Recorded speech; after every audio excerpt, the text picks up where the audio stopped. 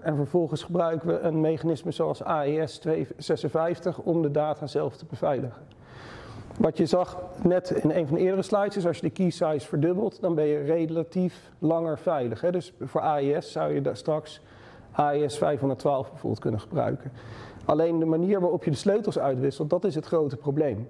Um, dat is zeg maar uh, hetgeen dat is uh, vulnerable voor zo'n quantum attack als die quantumcomputer ooit komt. Um, en um, dat, dat algoritme wat zo'n quantumcomputer dan gebruikt, sleutels zeg maar te factoren, dat is het Shor's algoritme. Um, dat, dat draait op zo'n quantumcomputer en daarmee kan je dus die public key cryptography uh, uh, decrypten. De, een van de vragen die dan vaak komt is, uh, wanneer is dan die quantumcomputer er? Geen idee. en dat is denk ik ook de grootste uitdaging of de grootste vraag van dit hele verhaal. Komt die quantumcomputer die zo krachtig is er ooit?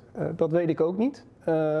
dat is natuurlijk wel ergens aannemelijk dat binnen hè, zeg maar 10, 15 jaar dat, dat we zover zijn. Um, voor nu, um, wat ik heb gezien de, van de quantumcomputers, zijn we best nog wel een tijdje. Dat is het goede nieuws op zich. Maar goed, dat, zoals ik al zei, het is goed om die kennis alvast op te gaan bouwen. en wat ik al zei, AES heeft aan zichzelf geen bekende vulnerabilities voor quantumcomputers. Dus het enige waar we in dit geval naar moeten kijken is hoe kan je nou dat, uh, zorgen dat als wij data uit willen wisselen, dat we alle twee een sleutel krijgen um, uh, die niet onderweg uh, onderschept. Sorry, ik doe deze presentatie heel vaak in het Engels, dus ik moet af en toe even nadenken over de woorden. maar die onderweg onderschept kan worden. Um, en om je een idee te geven um, waarom dat dan veiliger zou zijn uh, als je dat met een kwantumtechnologie doet, quantum key distribution, daar komen we zo op. Um, als voorbeeld, wat ik al zei, AES is vooralsnog, um, uh, wordt dat gezien als quantum resistant. Dus is, is, is veilig voor een aanval van een quantumcomputer. Dingen als RZ en Diffie-Hellman zie je meer aan de linkerkant staan, dus die zijn wat minder bestand tegen en uh, het zijn dus potentieel um, vulnerable voor zo'n aanval. Um, oftewel public key cryptography. Symmetrische cryptography is veilig omdat je dus die sleutels niet kan onderscheppen totdat je natuurlijk iets als Diffie-Hellman gaat gebruiken om die sleutels uit te wisselen. Um, ja, dus, dus R1 Diffie-Hellman um, uh, potentieel niet veilig. En dan heb je ook nog zoiets als post-quantum cryptography. En daar is volgens mij vanmiddag nog een presentatie over, als ik het goed had gezien op de, op het schedule. Um, Post-quantum cryptography is nog steeds gebaseerd op uh, het doen van de, berekeningen van elliptic curve, et cetera. Maar heeft niks met kwantum aan zich te maken, alleen dat het resistent zou zijn tegen een aanval van een quantumcomputer. Dus vandaar dat het ongeveer in het midden staat. Um, het idee is dus van hoe kan je nou dan die public key cryptography vervangen voor iets wat quantum safe is, oftewel information theoretically secure. Um, en dat combineren met AES. Hè, omdat AES, hebben we net gezegd, is wel veilig. Um, dus daarvoor is iets bedacht wat we noemen quantum key distribution. Eigenlijk zou een betere naam zijn quantum key generation, want je distribueert geen keys, dat gaan we zo zien. Um, maar je genereert keys op twee aparte locaties. Um, en als je dat dus combineert met uh, bijvoorbeeld MACsec of IPsec, of iets wat gebaseerd is op AES, dan ben je in principe veilig tegen zo'n aanval. Dat is het idee hiervan. Um, en om dan even te kijken van hoe werkt dat dan? Uh, we hebben twee routers, links en rechts. En zoals dat dus vandaag werkt op basis van uh, PKI, is de sleutel wordt gegenereerd aan de, op de router aan de linkerkant. Die sleutel wordt eigenlijk verstuurd uh, naar de andere kant. Jullie weten waarschijnlijk allemaal uh, hoe dit werkt, dus ik hoef niet heel erg in detail dat uit te leggen. Maar het nadeel daarvan is dat je dus eigenlijk de hele sleutel over de meestal dezelfde verbinding als die je ook, uh, waarover je ook de beveiligde data gaat sturen, die hele sleutel verstuurt. Um, en um, wat dus een van de angsten daarvan is, is dat er dus een store and decrypt later actie gedaan kan worden. Hè. Dus data wordt getapt, wordt opgeslagen en zodra dus bijvoorbeeld die quantumcomputer is of een klassieke computer, kan op een gegeven moment um, die berekeningen wel uitvoeren dat dan de data geëncrypt wordt. Um, datzelfde de, PQC, dus post-quantum cryptography, werkt eigenlijk min of meer hetzelfde. Dus nog steeds wordt die key op de ene router gegenereerd, wordt over diezelfde verbinding gestuurd naar de andere kant. En zodra die key er is, dan kunnen ze daar beide uh, data mee uh, encrypten. Ehm, alleen uh, het probleem is wat ik zeg, dus nog steeds dat je de key alsnog verstuurt over dezelfde, meestal dezelfde verbinding. Um, en er is geen bewijs dat die key niet onderweg of de data onderweg onderschept is door iemand. Daarvoor is quantum key distribution bedacht. Um, het grote verschil hiervan is dat er geen uh, uh, key over een verbinding gestuurd wordt. Wat ik al zei, je hebt eigenlijk twee aparte devices die een sleutel uh, gaan genereren en die, die aan het eind dus dezelfde sleutel hebben aan beide kanten, zonder dat die sleutel zelf verstuurd is. Um, het resultaat daarvan is dus dat de sleutel bekend is aan beide kanten, maar dat die dus niet wordt verstuurd. Dus je kan ook geen uh, store en decrypt later actie daarop toepassen. En je zou onderweg, uh, we gaan zo zien hoe, hoe QKD werkt, maar je zou onderweg bijvoorbeeld fotonen kunnen uh, onderscheppen die gepolariseerd zijn. Maar goed, dan weet je aan de andere kant dat er iets mee gedaan is. Dat is een van de eigenschappen van hoe, hoe quantum werkt. Uh, dus omdat je de key niet verstuurt, kan je hem ook niet onderscheppen. Heel kort over quantum, wat ik al zei. Ik ben geen physicist, dus ik, ik, weet niet precies hoe quantum werkt. Misschien maar goed ook. Um, maar het grootste verschil is de, de, zeg maar de bits die wij kennen. Uh, de, de, typische bits zijn 0 en 1. Um, ehm, in quantum is een bit 0 en 1 en tegelijkertijd. En de, de mooiste analogie hoe je dat kan vergelijken is als, je, als ik een voetbal gooi naar jou en die geef ik een spin mee.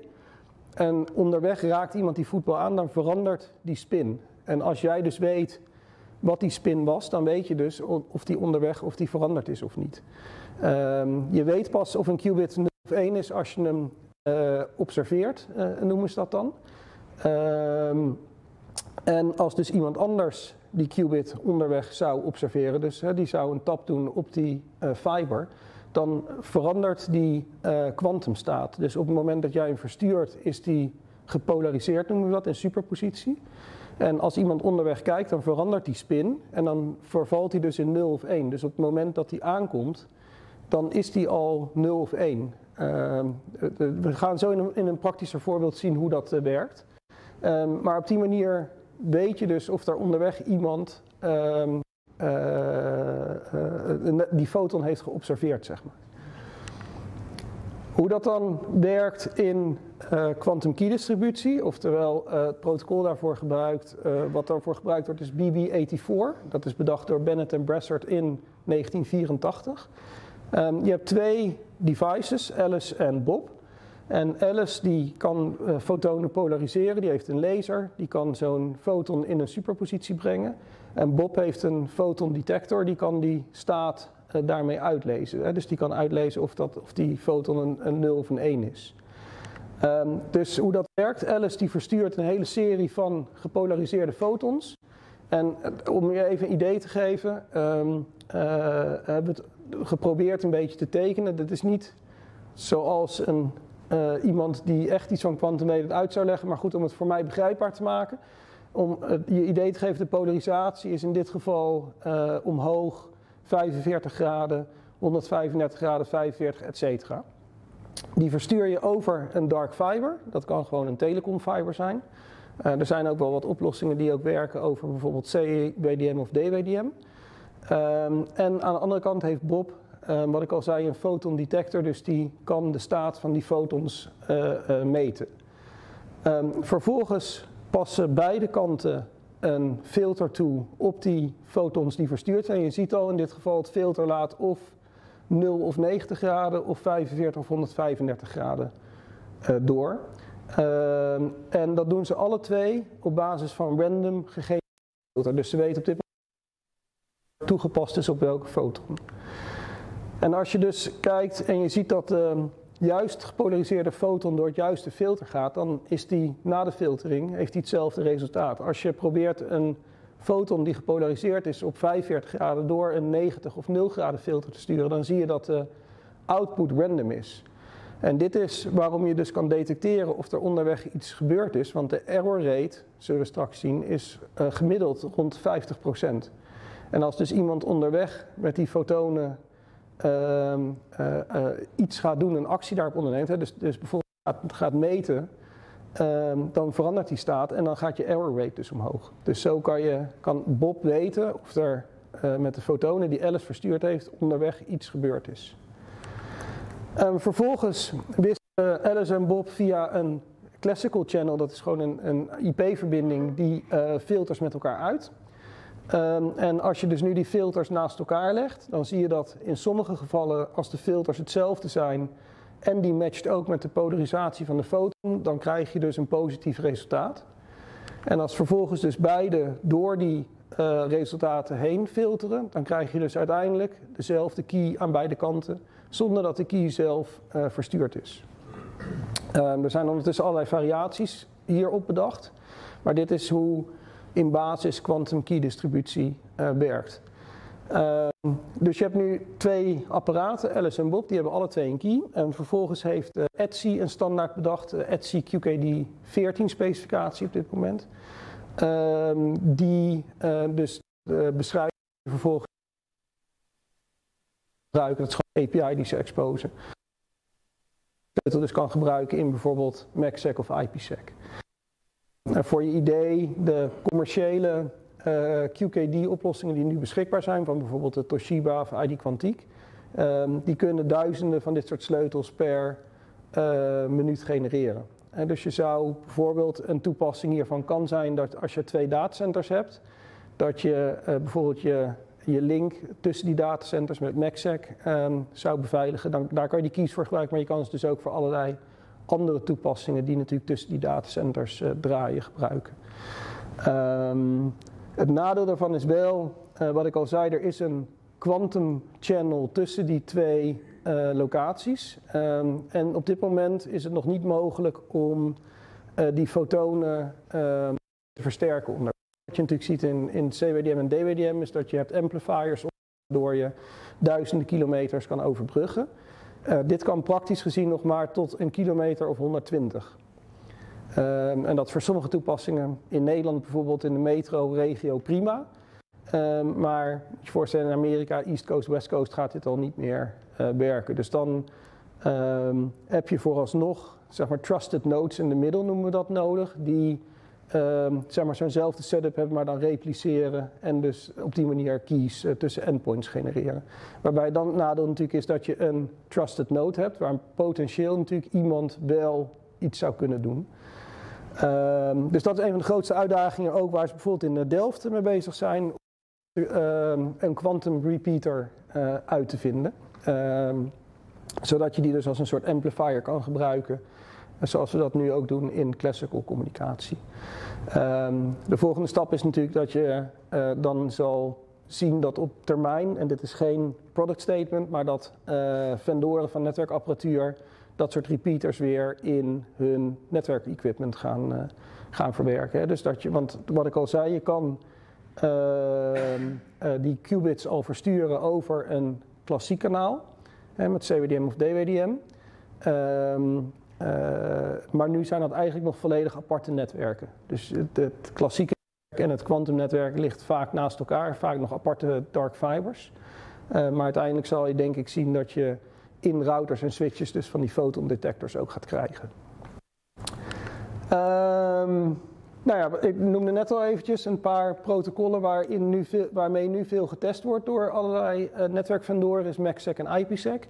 Um, heel kort, voor wie wat minder bekend is daarmee, MACsec is een typisch laag 2 encryptieprotocol, dus dat wordt veel gebruikt op DCI-verbindingen, dus tussen datacenters. Um, uh, om te voorkomen dat dus bepaalde partijen um, de data uh, die over zo'n fiber gaat uh, zouden kunnen onderscheppen. En IPsec wordt, is laag 3, dus dat kan je in principe gewoon over internet doen. Hè? Bijna iedereen zijn VPN en dat soort dingen is een IPsec of, um, of andere VPN-protocol. Wat interessant is, is, daar hadden Reinhard en ik het net al even over, dat traditioneel gezien, tenminste wat ik vaak heb gezien bij service providers, is dat bijvoorbeeld zo'n MACsec woord Zo'n link wordt een keer geconfigureerd met een, een, een, een, een, sleutel. En vervolgens degene die dat geconfigureerd heeft, die gaat weg. Niemand weet meer wat de sleutel is. BGP-authenticatie, hetzelfde idee. Je zet een peering op met iemand. Je configureert een MD5-key. Niemand weet meer wat de key is, maar laat maar draaien, want we gaan er niet aankomen, want er gaat BGP down. Dat is natuurlijk allemaal heel spannend. Um, wat hier een beetje het idee van is, is omdat we zoveel keys genereren en uh, ook protocollen zoals MACsec key rollover um, uh, uh, mogelijk maken, dat je dus elke minuut bijvoorbeeld die key zou kunnen verversen. En dat is iets waar wij netwerkengineers wat meer nog aan moeten wennen. Ik weet dat dat bijvoorbeeld wel met certificaten vaak wordt gedaan en, en in, in DNSSEC key rollovers, et cetera. Um, in netwerking is dat nog niet zo heel erg gebruikelijk. Dus dat is wel interessant bijvoorbeeld ook hoe vaak zou je die sleutel dan moeten gaan uh, wisselen. we, we, hebben nu in proof of concepts doen we bijvoorbeeld één minuut. En dan is altijd de vraag, ja, waarom doe je het elke minuut? Waarom niet 10 seconden of één keer per dag? Dus als iemand daar een idee over heeft, dan hoor ik dat heel graag. Um, en dan zie je dus gelijk dat er heel veel van dit soort dingen nog helemaal niet uh, gestandaardiseerd zijn. Um, wat ik al zei, die API is door Etsy gestandaardiseerd. Maar hoe je nou die sleutels uiteindelijk gaat gebruiken in MACsec of IPsec of welk ander encryptieprotocol dan ook, daar is nog helemaal niks over gestandaardiseerd. Dus dat is eigenlijk wel weer heel grappig om te zien met hoe het internet begonnen is. Zeg maar. Mensen zijn proof of concepts gaan bouwen en dingen aan elkaar knopen. En achteraf zijn we pas gaan standaardiseren. Um, dus een van de dingen waar ik denk dat belangrijk is om op te focussen nu, is juist ook die standaardisatie. Want er is geen enkel QKD-systeem wat ik net noemde, wat bijvoorbeeld met elkaar kan communiceren nu, als het van een andere vendor is. Hè? Dus je kan niet een Toshiba QKD device met ID Quantiek laten communiceren. En dat is natuurlijk wel waar het internet op gebaseerd is. Nu of, of na afloop? Uh, ga je gang, ja prima. Waarom Etsy? Wat, wat hebben telco's hiermee te maken? Nou, er is heel veel interesse van telco's. Uh, uh, telco's zijn bijna allemaal op zoek naar hoe kan ik mij differentiëren. Hè? Bijvoorbeeld KPN heeft concurrentie van de Vodafone en, en T-Mobile. Dus heel veel telco's zijn aan het kijken hoe kan ik differentiëren. Dus die zien hier bijvoorbeeld een mogelijke serviceoffering in. Hè, naar klanten toe dit als dienst aanbieden. Uh, of voor het beveiligen van de eigen infrastructuur. Dus natuurlijk heel veel discussie binnen de telco's en overheden en het gebruik van bepaalde Chinese apparatuur. Uh, uh, is er heel veel discussie over die beveiliging. Dus, dus vandaar dat dit deels telco gedreven is. Ehm, en je ziet uh, dat veel telco's dus ook inderdaad al bezig zijn met die proof of concepts te bouwen. Um, maar dat is inderdaad wel een goede vraag. Um, want het grappige is dat bijvoorbeeld hoe IPsec werkt, is weer gestandaardiseerd in IETF. En dus je ziet dat dat best wel versplinterd is en daardoor ook wel weer lastig is om, om dat te zorgen dat dat op één lijn komt. Um, sowieso, ik vind het super interessant om met bijvoorbeeld mensen uit Delft te, werken, want die komen natuurlijk van een hele andere achtergrond en die zijn nu aan het nadenken van hoe moet een quantum internet eruit zien. Dus die zijn bezig met dingen te bedenken, bijvoorbeeld het Dijkstra-algoritme, hoe doe je shortest path routing? Dat doen wij natuurlijk al 40 jaar in het internet. Uh, dus dat is heel leuk om, uh, om daarmee samen te werken. Maar dan loop je dus inderdaad tegen dingen aan dat verschillende onderdelen in verschillende standaardsorganisaties uh, behandeld worden. Hoe was het ook weer? Leuk is dat er zo lekker veel van zijn. Ja, precies. Ja. En er zijn heel veel noemen science projects. Dus heel veel mensen die aan hun eigen projecten werken, wat niet altijd even relevant is. Maar goed, de andere discussie. Uh, even kijken, dus de, de, vraag die wij inderdaad hadden uh, was, uh, nou ja, kunnen we dit, dat, dat quantum key distributie gebruiken in uh, MACsec of IPsec? Um, en um, dan kom je dus tot het volgende wat ik net vertelde. Je hebt Alice en Bob aan beide kanten data met elkaar uitwisselen.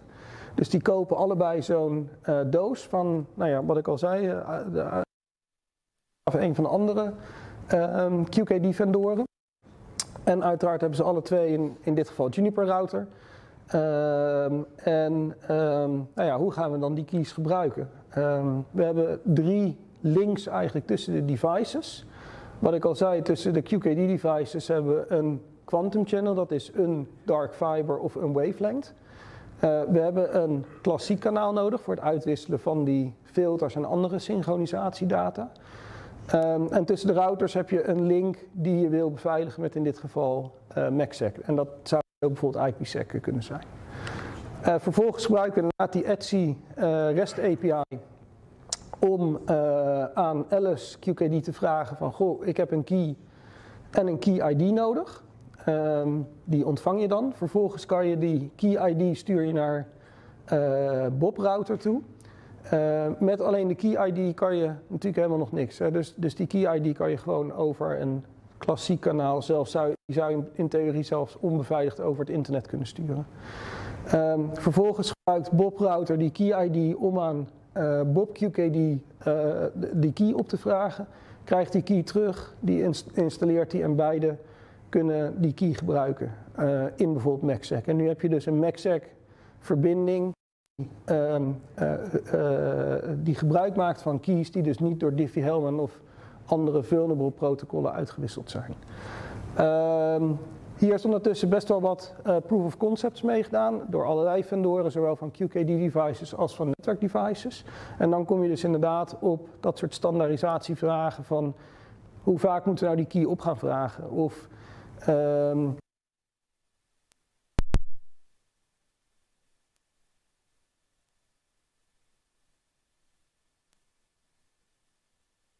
weer terug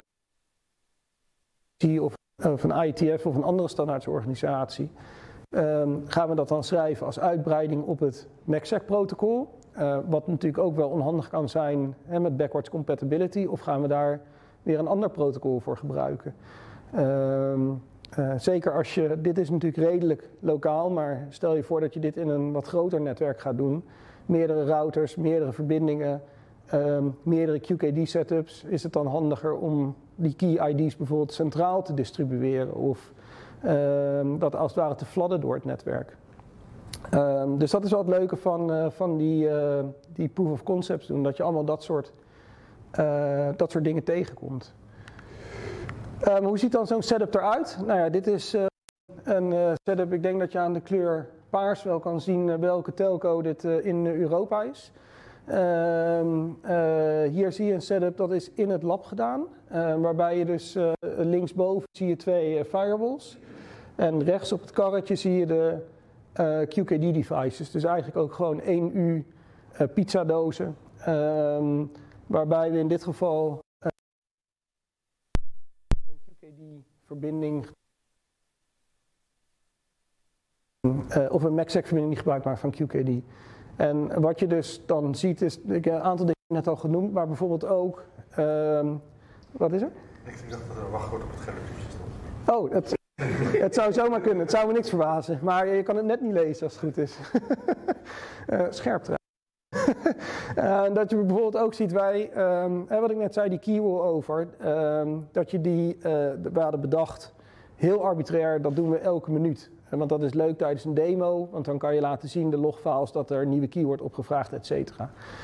Um, maar toen kwamen we er dus achter dat bijvoorbeeld de QKD-vendor in dit geval had bedacht dat de key moet binnen een paar seconden aan de andere kant ook opgevraagd worden. Ook volledig arbitrair, maar het, zij dachten dat het veilig was als je die keys, uh, als die niet snel genoeg aan de andere kant ook wordt opgevraagd, dat je hem weggooit. Ik ben het volledig mee eens. Alleen daar kom je natuurlijk alleen maar achter als je zoiets ook gaat implementeren en bouwen. Uh, dat je daar wel handig is om daar afspraken over te maken. Dus dat van die dingen uh, die dus weer gestandaardiseerd moeten worden. Uh, maar bijvoorbeeld ook gebruik je de key als uh, connectivity association key of als session association key. Daar is helemaal nog niet over nagedacht hoe je precies die, die sleutels van QKD nou moet gebruiken. Um, maar bijvoorbeeld ook het, het weggooien van sleutels. Hè? Als je, er zijn allerlei dingen waar je uh, het tegenaan loopt. Bijvoorbeeld Alice heeft wel een nieuwe key, maar Bob nog niet. Gooi je dan de keys al weg, weet je wel, de oude keys, dan gaat natuurlijk je verbinding down. Wil je überhaupt dat de verbinding down gaat? Als uh, er bijvoorbeeld geen nieuwe keys opgevraagd kunnen worden. Um, dus, dus het is super leerzaam, zo'n proces, om, om daar doorheen te gaan. Um, ja, een aantal uh, conclusions voor specifiek QKD. Uh, meeste heb ik denk ik al genoemd. Vooral dat er heel veel ehm, nog te doen is aan standaardisatie. Ehm, dit is beschikbaar. er zijn QKD-vendoren, je kan QKD dus al gebruiken. Maar om het echt praktisch in een netwerk te gebruiken, zijn er nog best wel wat uitdagingen die ehm, die, zowel door aan de QKD-kant als aan de, de kant van de netwerkvendoren. Ehm, maar goed, je kan hiermee spelen. Er zijn ook ehm, QKD-simulators die je kan gebruiken. Toshiba heeft er bijvoorbeeld één. Um, dan kan je dus al zelf gaan testen, ook met die REST API, om die sleutels op te vragen, et cetera. dus, dus op die manier kan je daar al mee aan de slag. een ander aspect, het genereren van random nummers. we gebruiken allemaal random nummers voor allerlei uh, toepassingen. Um, en um, de manier waarop je randomness, random entropy genereert, um, nou, we kennen allemaal wel defu random bijvoorbeeld, blijkt toch niet altijd zo random te zijn als dat je denkt dat random is. en je kan dus de mate van randomness, oftewel de kwaliteit van die quantum entropy, kan je uh, kan je kwantificeren of kwalificeren.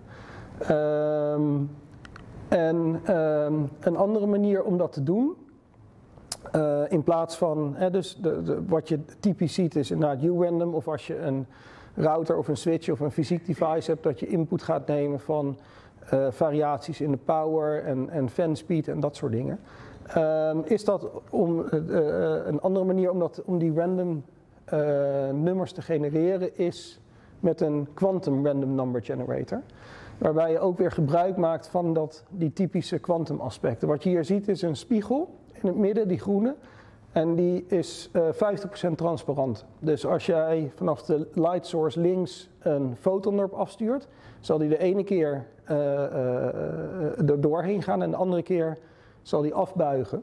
En als je dus twee van die foton detectors hebt, Um, dan uh, kan je op die manier dus heel kort samenvatten, uh, is dit, maar kan je dus een random sequence van, van nummers genereren. Um, dit is on-chip, dus dit kan je integreren in, nou ja, ik geloof dat er is al een mobiele telefoon waar een QRNG-chip in zit. maar dit kan, je bijvoorbeeld ook in een server of een router of een switch integreren. Excuus. Um, en op die manier, dit zou dus volledig random moeten zijn. En dan is dus de vraag, hoe ga je aantonen dat randomness beter is? En dat is natuurlijk een hele lastige discussie. Um, dus dat hebben we geprobeerd te doen op basis van een aantal metingen. Um, en zonder er echt heel uh, diep op in te gaan. Het idee is hoe dichter, als je kijkt naar in alle uh, grafiekjes naar de middelste grafieken, Um, hoe dichter de oranje puntjes bij de blauwe lijn in de buurt komen, hoe beter de kwaliteit van de randomness is. En dan zie je dus als je dat op een uh, Linux host doet, uh, die, van een willekeurige public cloud provider, dan zie je dat die randomness dus best wel ver afwijkt van wat ideal zou, ideaal zou zijn. Um, PTX, dat is een van onze routers. Die gebruikt wat andere sources, wat ik al noemde, bijvoorbeeld power en fan speed en dat soort dingen. Um, dan zie je dat daar de randomness al iets beter is. Um, maar als je ziet bijvoorbeeld figure 5, midden rechts, daar gebruiken we uh, QRNG. Um, dan zie je dat je bijna perfecte randomness uh, hebt. dus dit is ook een test die we hebben gedaan en uh, in, in een, een proof of concept. Uh, om, om te proberen aan te tonen, want het is natuurlijk een heel theoretisch verhaal over de kwaliteit van randomness, maar om te proberen aan te tonen dat die randomness beter wordt als je dus uh, uh, QRNG als een, een source van random entropy gaat gebruiken. Um, dus dat is de, een van de um, toepassingen van, van kwantumtechnologie, wat op dit moment beschikbaar is. Hè. Er zijn natuurlijk allerlei grote beloftes van wat kwantum allemaal zou kunnen. En, qubits uitwisselen en quantumcomputers aan elkaar knopen. Uh, maar dit is wat nu praktisch uh, beschikbaar is. Um, dus om het even samen te vatten. Um, quantum random number generators net over gehad. Dus als je op zoek bent naar hogere kwaliteit randomness. Um, quantum key distribution voor het uitwisselen van die sleutels zonder dat de sleutel zelf verstuurd wordt. Um, en post-quantum cryptography, daar ben ik verder niet op, echt op ingegaan, wat ik al zei, omdat er vanmiddag volgens mij daar ook nog een presentatie uh, over is. en dan is natuurlijk de vraag van ja, maar dat quantum internet dan, hè, daar heeft natuurlijk iedereen het over. Dat de Delft heeft natuurlijk wat uh, releases gedaan met nog niet. Uh, je moet het een beetje vergelijken. De staat waarin het quantum internet nu is, is waar vergelijkbaar met waar het internet zeg maar 40 jaar geleden was. dus je kan in zo'n QKD setup kan je van A naar B kan je gepolariseerde fotons sturen. en uh, er zijn wel wat uh, testen, zeker in de, in de labs in, in bijvoorbeeld Delft en andere universiteiten, uh, met het opslaan van qubits en, en het uitwisselen van qubits. Maar um, waar de, staat waar het nu is en, en waar de komende jaren uh, dit zal zijn, is dat je al naast classical uh, verbinding ook een kwantumverbinding zal hebben. En dat, wat ik al zei, dat is dan of een dark fiber of een wavelength. Um, geïntegreerde oplossingen, dat is, sowieso nog wel een paar jaar um, uit. Uh, maar ook geïntegreerde oplossingen als in uh, dat je dezelfde netwerkapparatuur of dezelfde endpoints, dus computers kan gebruiken. De integratie van een quantumcomputer met een klassieke computer, daar, daar zijn we nog lang niet. Uh, de, volgens mij worden de slides ook beschikbaar gesteld. Er staan op best wel wat slides, heb ik links gezet naar artikelen die wel interessant zijn om, uh, om te lezen als je daar meer over wil weten. Uh, maar voorlopig zal een quantum internet, zoals dat nu ook in Nederland bijvoorbeeld gebouwd wordt, dus wat is het Groene Kan en, en, nog een paar locaties hier in Utrecht, laat ik zo even zien, is altijd een, een parallel naast een klassieke verbinding. Vraag. Hoe gaan ze quantum repeaters oplossen? Want een repeater in zo'n foton aanraken is dodelijk. Ja, ja. Dus zoals je net zelf al zei over de OSS-verbinding, dat moet eigenlijk gerouteerd worden. Ja. Ja, je zegt auto met quantum repeaters. Is daar al een beeld bij? Goeie vraag. Uh, nogmaals, ik weet niks van quantum zelf, hè? maar uh, zoals nu zeg maar repeaters wordt gedaan, is echt de switch weer optical naar electrical naar optical, dus met een trusted node. Het idee is natuurlijk uiteindelijk dat dat helemaal optisch blijft. Uh,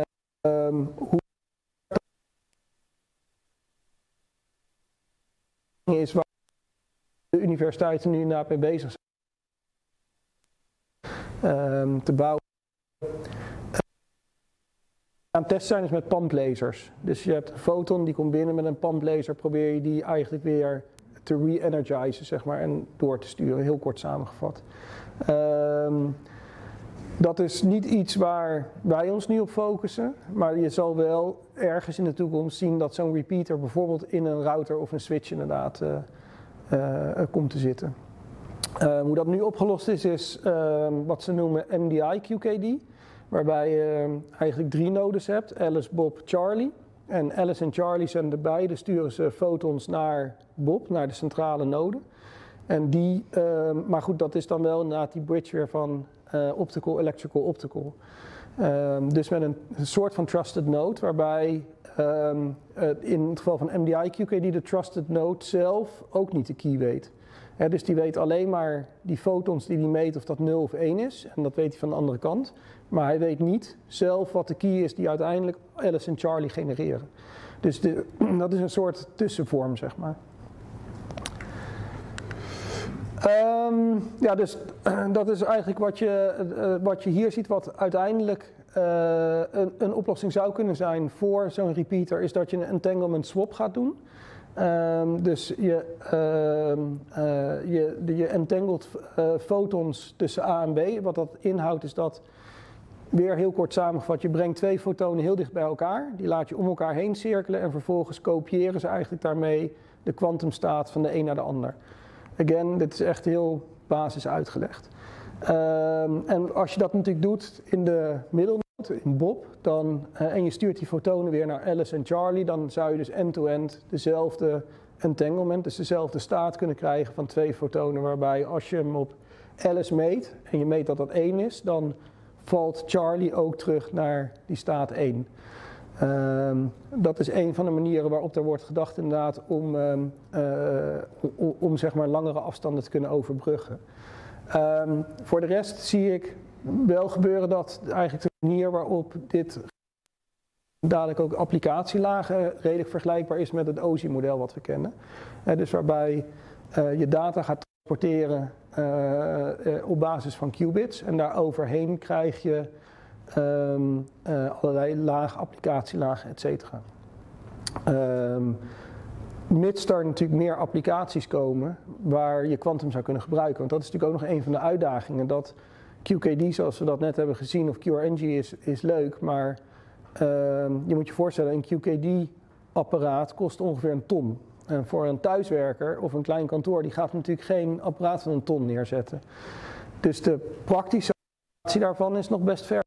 Uh, plus daarbij de enige is wat je ermee kan bieden. Lastige business. De, dat is een van de andere uitdagingen. Meer applicaties komen die gebruik gaan maken van die unieke quantum uh, properties. Um, maar daar wordt wel veel getest. Um, wat ik al zei, QTech en Eurofiber en Juniper hebben net een test gedaan in, uh, hier in, in Utrecht in de Eurofiber datacenter, waarbij we dus dat MDI QKD hebben gebruikt om die sleutels uit te wisselen en uiteindelijk end-to-end -end een uh, MACsec verbinding te beveiligen met, met QKD. In China claimen ze dit met satellieten te doen. Dus dan heb je eigenlijk weer datzelfde wat je net zag, Alice Bob Charlie, waarbij Bob dan een satelliet is. Uh, die uh, fotonen, gepolariseerde fotonen naar Alice en Charlie stuurt. Um, Door de wolken heen? Uh, ik weet niet of je, wat precies de meteorologische optimale omstandigheden zijn. Maar ik kan me zomaar voorstellen dat als er of sites